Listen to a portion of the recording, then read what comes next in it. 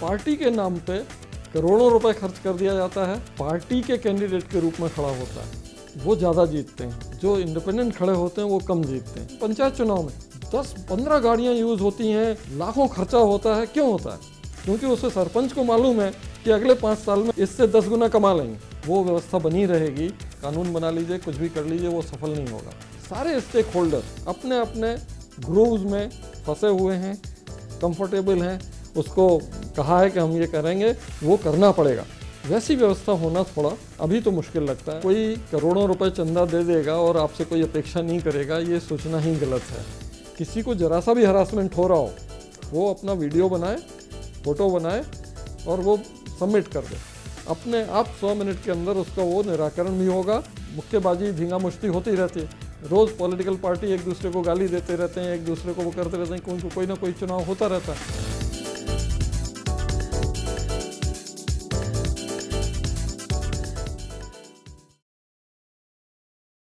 चुनाव आयोग के भीतर से क्यों नहीं इस तरह की? भाई, अब राष्ट्रपति को एक पत्र लिखा गया, उसके बाद कई चुनाव आयुक्त आए उसके बाद। उनमें से किसी ने ये पहल क्यों नहीं की कि वो अपनी तरफ़ से लिख करके दे सरकार को कि आयोग के भीतर ये ये चेंजेस होने चाहिए और आयोग में जो लोग बैठे हैं, वो किसी सरकारी ज़िम्मेदारी पर दोबारा नहीं जाएँगे, वो यहाँ से रिटायर होकर के अपने दूसरी सामाजिक भूमिकाओं में जाएँगे, लेकिन सरकारी भूमिकाओं से परहेज उनका कानूनी तौर पर रहेगा। ये इंडिविजुअलिस्टिक ज़्यादा है कि कोई सोचे कि भाई इस पर रिफॉर्म होना चाहिए था, अभी तक नहीं हुआ तो हम फिर से उसको रिमाइंड करें, कुछ बताएँ। ये चीज़ होनी चाहिए, लेकिन अभी नहीं हुई है। बाकी मुझे लगता है कि चूँकि एक बार लिखा जा चुका है तो अगर हमारे जो लॉ मेकर्स हैं पार्लियामेंट है, अगर वो उस पर भी संज्ञान लेते हैं और उस पर कुछ करते हैं तो मुझे लगता है ये एक अच्छी पहल होगी। आपका रिटायरमेंट प्लान क्या होगा?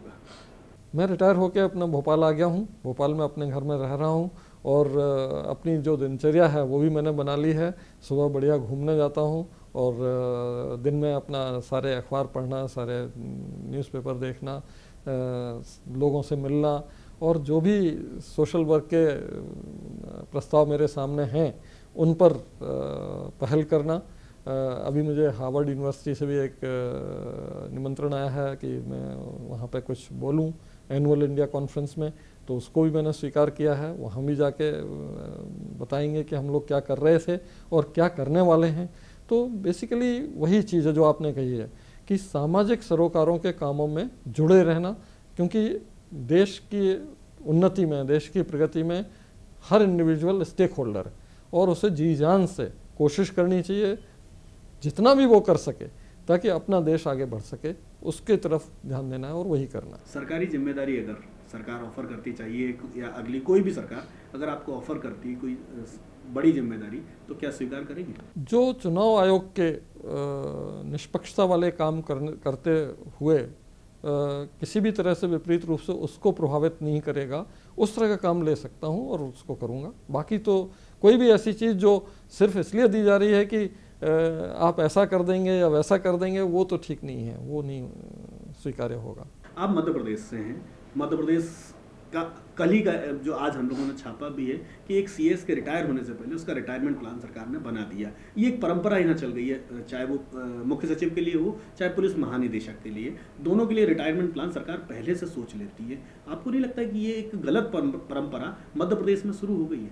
इससे दूसरी दृष्टि से भी देखा जा सकता है कि जो सिविल सर्वेंट्स शेप होते हैं धीरे धीरे प्रशिक्षण के बाद अपने फॉर्मेटिव ईयर्स में एसडीएम, डीएम के रूप में, फिर बाद में सचिव, प्रमुख सचिव के रूप में, मुख्य सचिव के रूप में तो उनकी जो ग्रोथ होती है, उससे भी पूरा सिस्टम ये अनुमान लगा लेता है कि ये व्यक्ति अगर इस ट्रेजेक्ट्री में जाएगा, इस दिशा में जाएगा तो वो प्रदेश के, देश के हित में होगा, समाज के हित में होगा। तो अगर उस तरह का प्लान बनाया गया है, उस तरह से सोचा गया है, उस तरह से ऑब्जेक्टिवली सोचा गया है तो ये देश हित में है, प्रदेश हित में है, समाज के हित में है। लेकिन अगर ये निहित स्वार्थों की पूर्ति मात्र के लिए सोचा गया है तो गलत है। इसमें कोई ब्लैंकेट वो ओपिनियन नहीं दी जा सकती कि ये पूरी तरह से ही गलत है। एक राष्ट्र, एक चुनाव। बहस पिछले पाँच से दस साल से उठ रही है। आप भी उस बहस में आपने भी कहीं ना कहीं एक समर्थन दिया तो क्या लगता है इसकी क्या एक अगर हम कहें ग्राउंड वैलिडिटी कि ज़मीन पर इसकी स्वीकार्यता कितनी और क्या वाकई में ये संभव है कि इस देश में एक साथ सारे चुनाव कराए जा सके? ये आपने बहुत महत्वपूर्ण सवाल किया है। इस पर 2015 में सरकार ने कमीशन से पूछा था कि one state one election one nation one election ये करने के लिए क्या करना होगा? तो कमीशन ने उस समय उनको सारे सुझाव दिए थे कि इस तरह के संशोधन संविधान में करने होंगे इस तरह के संशोधन रिप्रेजेंटेशन ऑफ़ पीपल एक्ट में करने होंगे। अगर ये दोनों संशोधन हो जाते हैं तो फिर लॉजिस्टिक इश्यूज़ आएँगे।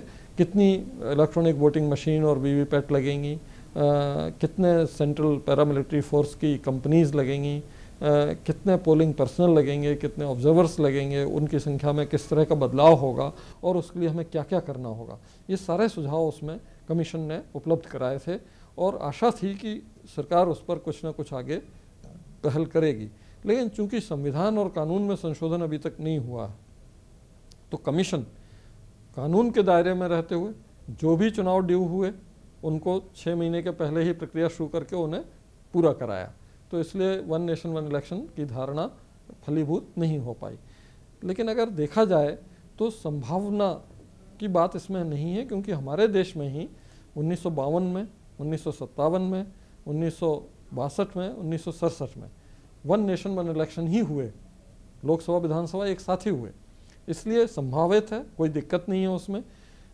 दूसरे क्या है कि इसमें ऐसा लगता है, अभी कोई इम्पेरिकल स्टडी तो नहीं है कि कितनी बचत होगी, कितना वो होगा, लेकिन ऐसा सब्जेक्टिव इम्प्रेशन लगता है कि अगर वन नेशन, वन इलेक्शन हुए तो लगभग साढ़े चार साल सरकार को, राजनीतिक दलों को, अपनी भूमिका को पूरे प्रभावी ढंग से निभाने का अवसर मिलेगा। अभी तो रोज मुक्केबाजी धींगा मुश्ती होती रहती है। रोज पॉलिटिकल पार्टी एक दूसरे को गाली देते रहते हैं, एक दूसरे को वो करते रहते हैं, कोई कोई ना कोई चुनाव होता रहता है। तो उन्हें अपने काम पर, अपनी भूमिका पर कंसंट्रेटेड होकर काम करने का मौका ही नहीं मिलता।